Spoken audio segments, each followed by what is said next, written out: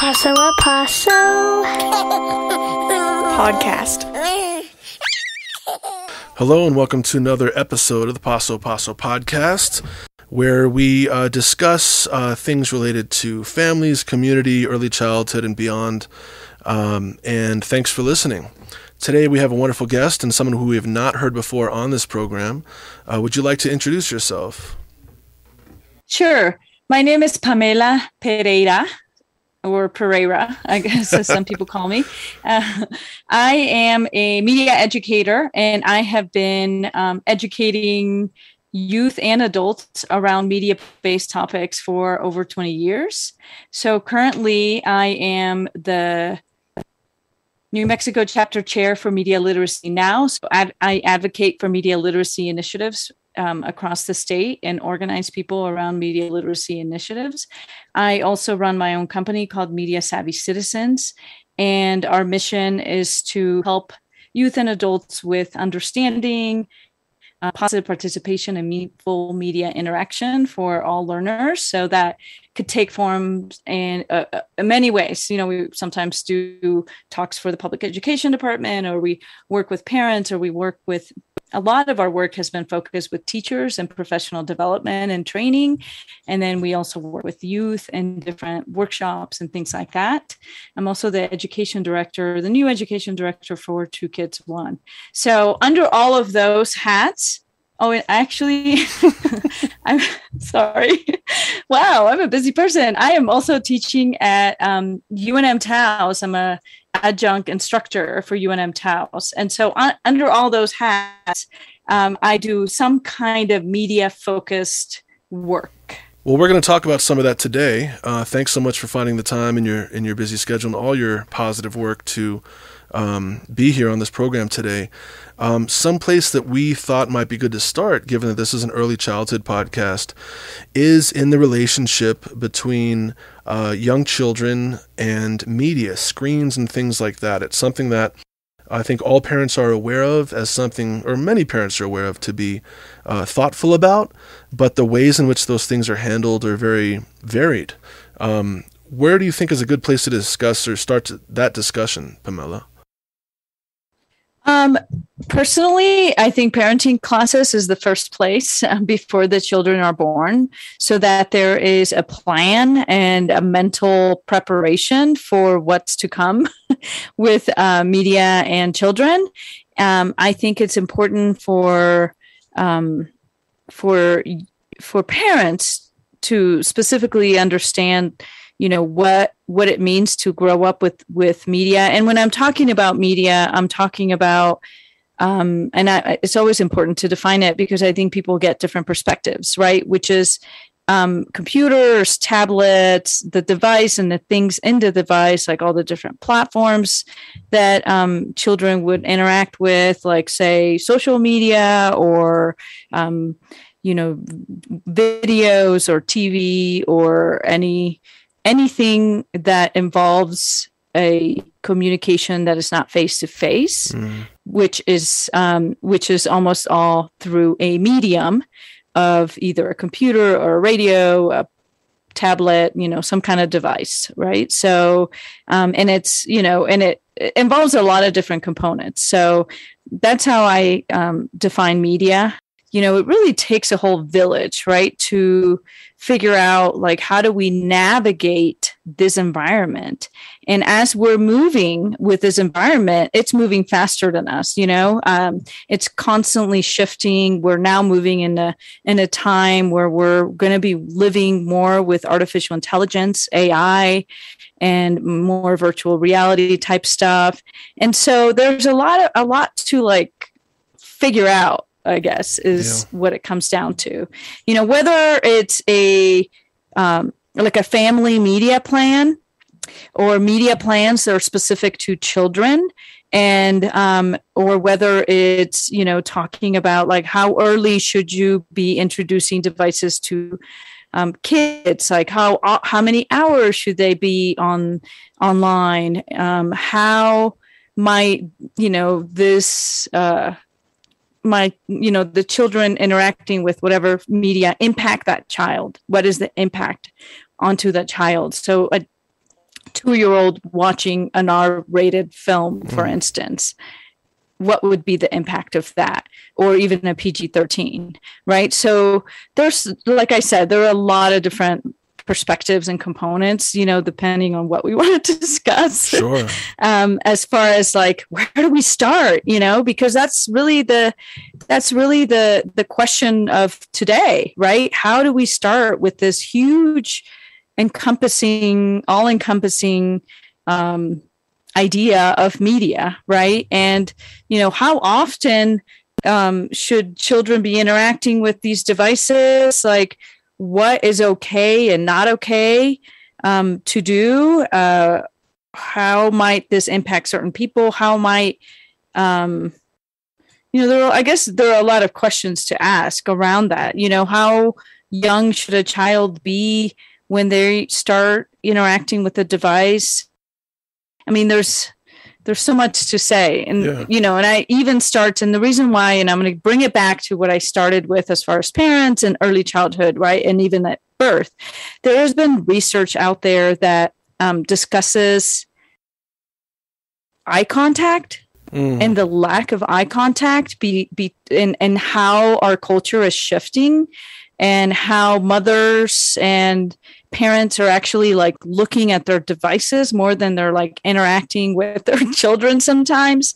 And so um you know thinking as far as as far as early as that right when this infant is born you know what do we know or not know about the media right and its impact and how is that? So if a parent or you know a caretaker is taking care of a of an infant and the infant learns from eye contact. We have evolved to look you know to to learn by seeing and doing right? And so that is a mimic right? And mimesis. And so um, if this child is not really getting that eye contact with the parent is it you know how is that shifting how they interact in the world yeah. and how they learn, how they empathize, and all of those things, which is kind of like a domino effect. Yeah, absolutely.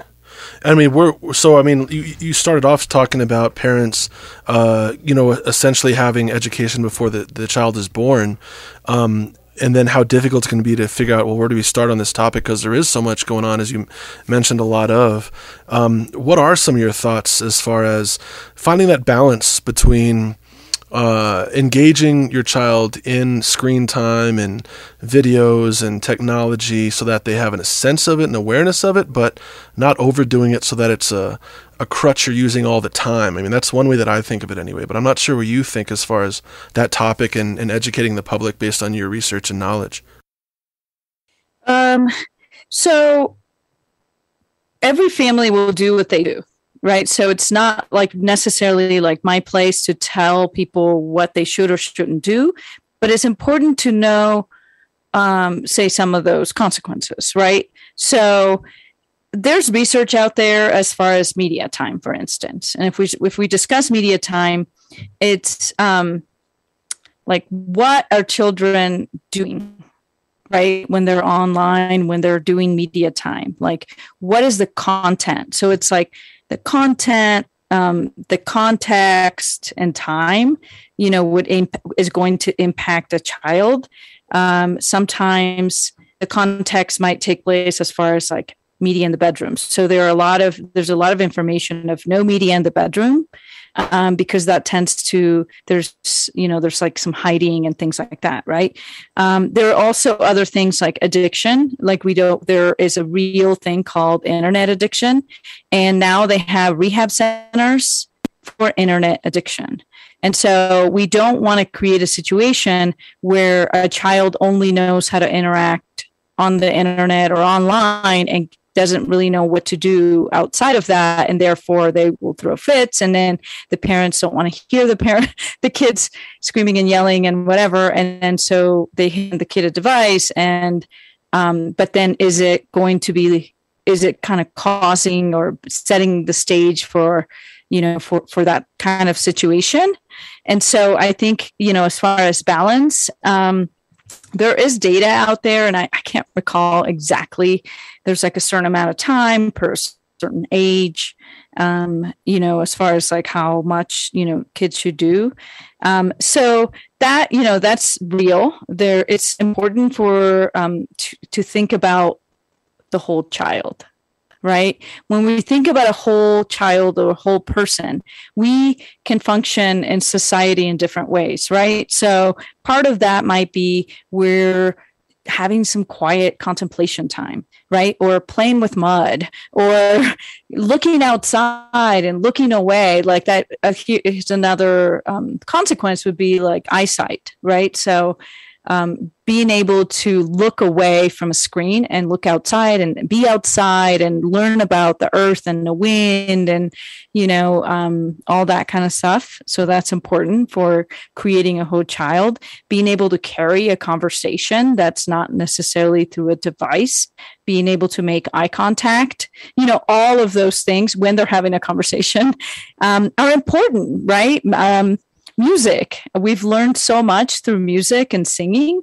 Um, that's that's also important. So, you know, I guess it really comes down to you know what what is too much. Um, these are questions that we all should think about and reflect as a you know as a community of parents, as a community of educators, and um, as a community of grandparents and citizens of society and there you know we we've embraced these technologies but we haven't really taken so much time to take a step back to just look and, and observe and and understand like what how might you know what what the impacts may be. Yeah it sounds like being proactive and engaged with not only uh, when your child has access to media and screen time um, but what they're doing while they're utilizing it sounds to be something that you're sharing is very important. Yes. and I'm giving a lot of examples, you know, as far as like, you know, different scenarios because there are different age groups, of course. And, you know, when we're talking about early childhood, there's a lot of information as far as like, there's, so I don't want to just talk about the negative things. I also want to say there's a lot of positive, there are a lot of positive things um, that come out, you know, that are, that with media, right? So we've seen through this pandemic how we were able to um, live in community still, a different kind of community, but still like generate a community, a sense of community by being connected online through social media channels or kids being able to play video games or other social um, apps and programs where they're being social. And so that has been important during an isolation, say, period. Um, so there are positive things, like I said, that learning games where um, students or kids, you know, can learn with, can have specific help um, gaining different skills, like whether it might be, you know, a, a reading skill or a, um, you know, just different skill building, I guess. Are there any last thoughts you'd like to leave listeners with as far as uh, the topic of, of media and, and, children, or, or I guess as well their, their own um, awareness of what their relationship with media and their phones are as we parent others or continue to grow ourselves? Um, I would suggest um, that there, there's a lot of information out there online. Um, I did a talk for the public education department on parenting and media, and I think there's a there's like a link in parenting and learning um, and there's a link on my on the media savvy citizens website under highlights because or under past events or events or something like that where parents can like enroll in that in that discussion for that discussion. Um, there there's a lot of information out there and you know i'm happy to be available for people if we want to you know keep talking about this and keep discussing it and keep brainstorming what we can do what you know what could be done. And you know and um and we actually have and just to put a plug in here for true kids one we actually have really cool this is more of a on a digital production end of things but we have a true kids one is doing a series of like um, digital production media intensives and a journalism program and and different things like that. So it would be true kids one the number one dot org. And that's their website to check out the programs that um starting that are starting like right around the corner. I think they start next week Cool. Yeah, thanks, Pamela. And, and, real quick, if you don't mind touching on it, I, I can't help but interpret that in some ways. Maybe your role now with True Kids One, the uh, the local youth focused, you know, media creation organization, um, hopes to create, you know, I guess what I'd maybe call thoughtful media or engaged media. Is that is that part of uh, what might have uh, drew you to to working with them?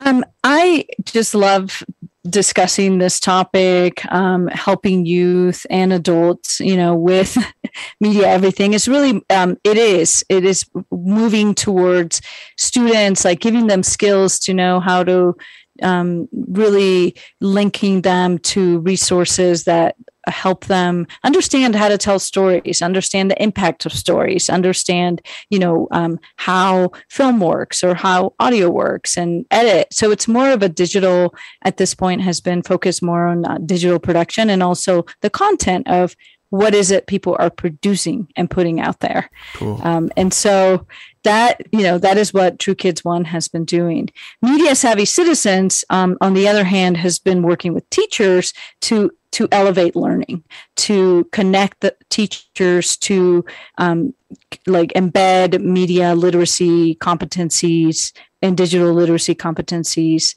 for learning in the classroom through, you know as to elevate that subject matter um, content and so it's a it's a different approach and they i think they both have value mm-hmm. and you know and how you know students are interacting with media whether it's in school or whether they're it's you know through a production or whether it's like you know creating a um a, a, a like a little podcast um, you know there are different ways. And so it's pretty comprehensive you know between media savvy citizens and true kids one. And then of course um, i'm also teaching through unm and digital skills um, training. And i know we're running out of time so i'm not going to say much about that but if you looked me up that you can find the information mm.